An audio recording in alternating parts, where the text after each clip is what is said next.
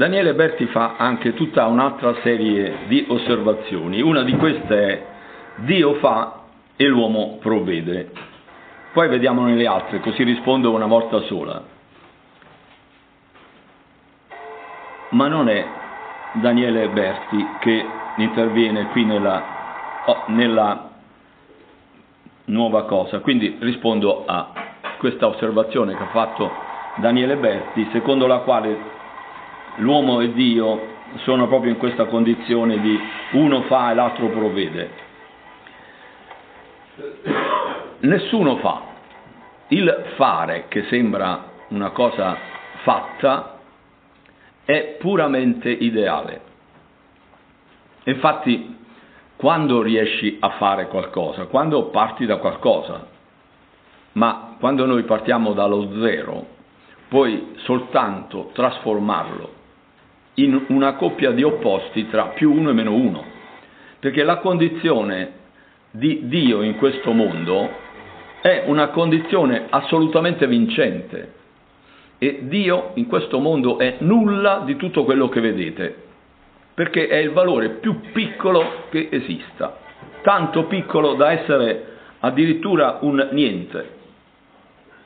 E allora, quando esiste questo zero ma che è uno zero potentissimo, allora esiste proprio in una tale potenza da unificare ogni possibile base di riferimento alla potenza zero di questa base. E però quello che Dio fa è semplicemente un progetto ideale. Una volta che questo progetto è costruito, esso è interamente in equilibrio, però è un equilibrio nei lunghi tempi che impiegano proprio l'eternità per un equilibrio.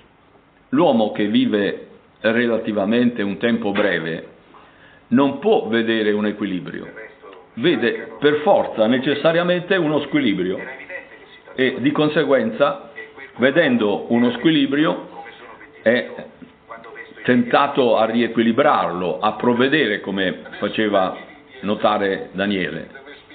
L'uomo, Dio decide e l'uomo provvede. Dio decide proprio ritornando e facendo tornare a zero tutto il suo disegno, quindi è una negazione alla verità del disegno, alla verità attiva del disegno, perché lo attua in passivo, ossia elimina tutto ciò che è in atto per ricondurlo in potenza. È l'uomo che vede ciò che è in potenza e lo mette in atto. Quindi l'attuazione del disegno è fatta dall'uomo, il quale uomo la compie idealizzando le quantità, quindi arrivando a vedere il mondo reale così come lo vede, grazie solo ai suoi concetti, perché alla base della costruzione dell'uomo, del mondo, ci sono soltanto i valori numerici che sono le quantità di volte che Dio entra in azione. Questi sono i numeri. Il numero 3 indica che il fondamento con cui è costruita l'esistenza è entrato in azione tre volte. Vedete la quantità 8? Significa che il fondamento unico su cui si regge il mondo è presente e attivo otto volte. Quindi voi vedete numeri, e dite cosa sono questi numeri. I numeri sono l'azione divina che appare solo nell'azione uguale e contraria, ma che è questa azione prodotta da un unico ente che virtualmente ha assunto il valore 10. Quindi quando voi vedete i numeri, sono tutti causati dal 10. I numeri che invece vede l'uomo sono numeri uguali e contrari perché non sono 10 elevato a quel numero, ossia quante volte entra in azione Dio.